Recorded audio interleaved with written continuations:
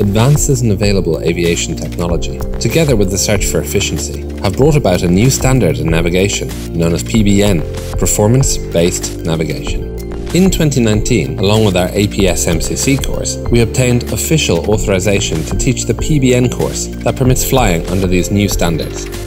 This new system is more versatile than the old one, which was based on fixed stations such as VOR, DME, ONDB, as it uses GNSS satellite navigation systems. Our simulators have four separate certifications for teaching PBN courses in four classes of aircraft single engine complex, multi engine complex, multi engine DA 42, and medium jet Airbus A320, thereby covering all the categories of aircraft that the pilot requires and guaranteeing the complete availability of simulation facilities, as well as trained instructors and examiners.